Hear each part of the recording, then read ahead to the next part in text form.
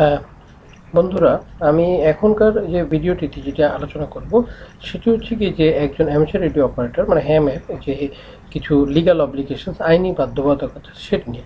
তবে তার আগে আমি আপনাদেরকে একটা বল- বলছি যে আমার যে কন্টেন্টগুলো বা ভিডিওগুলোতে যা যা আপনারা দেখছেন বা জানছেন সেগুলোই সমস্ত কিছু তা না। আমার ছাড়াও আমাদের যারা আমাদের আরও কল সাইন হোল্ডার আমাদের আরও হ্যাম ভাইরা আছে, তাদেরও বিভিন্ন ভিডিও আছে, বিভিন্ন রকমের লেখা আছে। সেগুলো পড়েও কিন্তু আপনাদেরকে অনেক কিছু জানতে হবে। সবচেয়ে বড় কথা একটা জিনিস বলে রাখি, সেটা হচ্ছে গিয়ে কখনোই একটি রিসোর্সের উপরে মানে খুব বেশি ডিপেন্ডেন্ট হবেন না। Different different resource different different পার্সনদের সাথেও যোগাযোগ রাখবেন। এটা কিন্তু খুবই জরুরি একটা বিষয়। যাই হোক আমি এখন যে আইনি বাধ্যবাধকতা সেটি নিয়ে আলাপ করব, সেটি হচ্ছে কি যে অ্যামেচার রেডিও অপারেটর আপনি হয়ে গেলেন, তারপরে আপনি একটা ডিভাইস নিয়ে কথা বলতেছেন, তারপরে যোগাযোগ করতেছেন, এটাই কিন্তু মানে আমাদের মানে মূল বিষয় না। এখানে বেশ কিছু লিগ্যাল অব্লিগেশনস আপনাকে মানতে হবে। তো প্রথমে বলছি হচ্ছে গিয়ে যে আমাদের যেই আইনি বাধ্যবাধকতাগুলো আছে সেটি নিয়ে। যেমন আমাদের যে অথরিটি নীতি নির্ধারক, বাংলাদেশ টেলিকমিউনিকেশন রেগুলেটরি কমিশন এরা প্রতি মাঝে মাঝেই অ্যামেন্ডমেন্টগুলো তৈরি করে এবং বিভিন্ন রুলস রেগুলেশনগুলো অ্যাড করে। যেমন, এটা হচ্ছে কি public consultation on amateur licence procedure and usage এটি হচ্ছে গিয়ে দুই হাজার চোদ্দ সালের আপনারা দেখতে পাচ্ছেন দু হাজার চোদ্দ সালের যেটি করা হয়েছিল আহ, অনেক বড় একটি ডকুমেন্ট হ্যাঁ এগুলো কিন্তু আপনারা পড়ে রাখবেন। খুব জরুরি বিষয়। এখানে কি করতে হবে কি করা যাবে না কীভাবে কীভাবে চলতে হবে এই বিষয়গুলো নির্ধারণ করা আছে।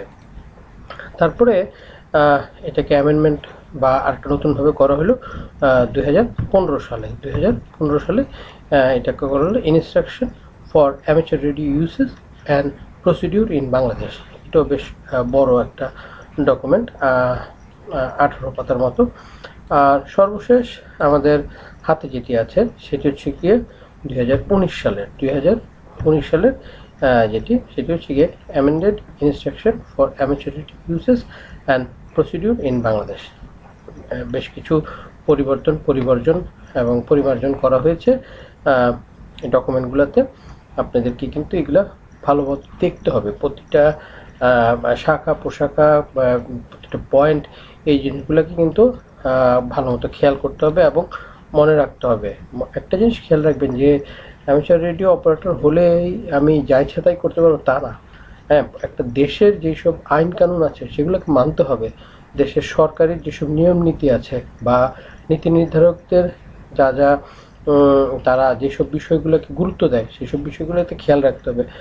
যেমন একটা সিম্পল বিষয় বলি, সেটা হচ্ছে কি যে আমরা কিন্তু চাইলেই যে কোনো রকমের মানে হ্যান্ডেল ট্রান্সরিসিভার সংগ্রহ করতে পারব না।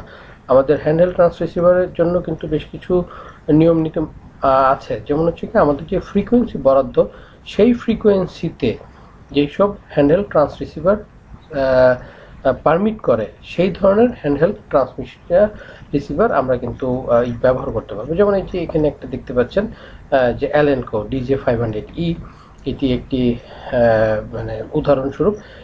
এই এই সেটটা আর কি আমাদের যেই ফ্রিকোয়েন্সি বা আমাদের যেই যা যা পারমিট করে গভর্নমেন্টের আইন অনুযায়ী বা অ্যামেচার রেডিও অপারেটরদের আইন অনুযায়ী সেটি। তারপরে আরেকটি আছে হচ্ছে কি পলমার পলমারের এই ডিভাইসটিও অ্যামেচার রেডিও অপারেটরদের পারমিট করে। তবে একটি জিনিস বারবার করে বলছি, সেটা হচ্ছে গিয়ে যে শুধু যে আপনি মানে মনে করেন যে একজন অ্যামেচার রেডিও অপারেটর হ্যাঁ আপনি যা ইচ্ছা তাই করতে পারবেন কিন্তু খেয়াল রাখ, কখনোই না। অনেক রকমের নিয়ম, নীতি, আমাদের কিন্তু নিয়ম শৃঙ্খলা একটা খুবই গুরুত্বপূর্ণ বিষয়। কীভাবে চলবো, কীভাবে কথা বলব কীভাবে কার সাথে কমিউনিকেট করব, তারপরে আমরা সরকারের বা বিভিন্ন অবস্থায় আমাদেরকে কি, আমাদেরকে কীভাবে চলতে হবে, হুম এইসব বিষয়গুলো কিন্তু আমাদের মাথায় রাখতে হবে এখন, খুবই গুরুত্বপূর্ণ। আজকাল অনেক মিসইউজ হয় বা অনেকের অনেক রকমের এইসব বিষয় নিয়ে ভুল ধারণা হয়ে থাকে। তাই বারবার করে বলছি যে এই ধরনের যেসব আইনি ব্যাপার স্যাপার আছে বা যেসব লিগাল অব্লিগেশনস আছে, সেগুলো কিন্তু ভালো মতো পড়ে নেবেন এবং আত্মস্থ করে নেবেন।